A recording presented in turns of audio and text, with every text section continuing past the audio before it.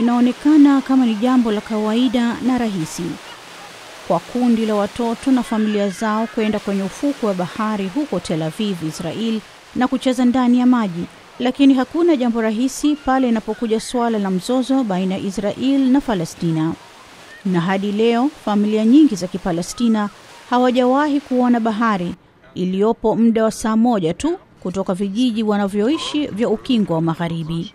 Wanahitaji vibali maalum kuvuka vituo vya ukaguzi vya kijeshi vya Israel baina ya ukingo Magharibi na Tel Aviv ambavyo Wapalestina wengi hupata ikiwa wanaajira ndani ya Israel, lakini sio kwa matembezi. Raia mmoja wa Israel mzaliwa wa Marekani, Robbie Berman, anataka kubadili hali hiyo. Kwa takriban miaka minne amekuwa akishirikiana na watu wa kujitolea kuwachukua Wapalestina takriban 30 kutoka vijiji vyao na kuwapeleka hadi Tel Aviv. Alikutana na baadhi ya watoto huko Jerusalem na kujifunza kuzungumza Kiarabu nao. And I got friendly with them and then one day Nilifanya urafiki nao na siku moja nikasema, unajua, ningependa kwenda kwenye ufuko wa bahari.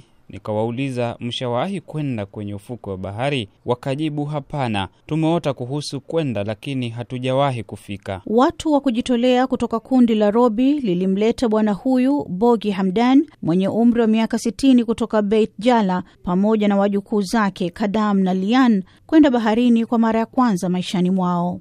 Wamefurahi sana kuona bahari, hawakulala usiku kucha. Wamekuwa wakiniuliza wanakuja saa ngapi, tutaiona bahari lini? kwa samir na Fatma ambao wameoana karibuni wanatokea Beit Omar na safari hii ilikuwa ni fungati yao ya harusi.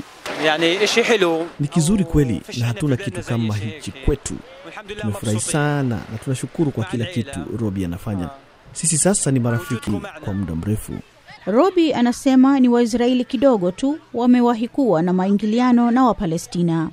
Robi aliita marafiki zake kusaidia, hususan wale wenye ujuzi wa uokoaji baharini, kwa vile watoto hawa hawajui kuogelea. Xavier Alexander ni mwokoaji wa kupiga mbizi. Anasema mradi kama huu wa kibinafsi unaweza kuleta amani. Unatamani kama watoto wote huku wanapata nafasi kama hii. Vipi tunaweza kulitimiza hilo? Hakuna anayejua, lakini ni hatua ndogo kuelekea njia inayostahiki. Mtu mwingine anayejitolea ni Rabbi Jonathan Feldman. Anasema kwake yeye mradi huu ni njia inayomulika maadili ya dini yake. Nadhani imani ya Kiyahudi inatuambia kusaidia watu wengine na kuwa na amani na majirani zetu, na hilo ndilo tunalotaka. Tunafanya sala za kuwa na amani mara nyingi kila siku, na amani ya kwanza tunaohitaji ni amani na majirani zetu. Robi anaamini kuwa fursa hii ya kwenda pwani pia inasaidia tabia za Wapalestina.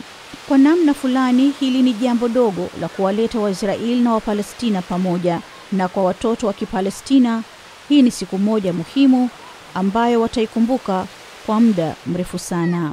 Aida Isa, VOA, Washington.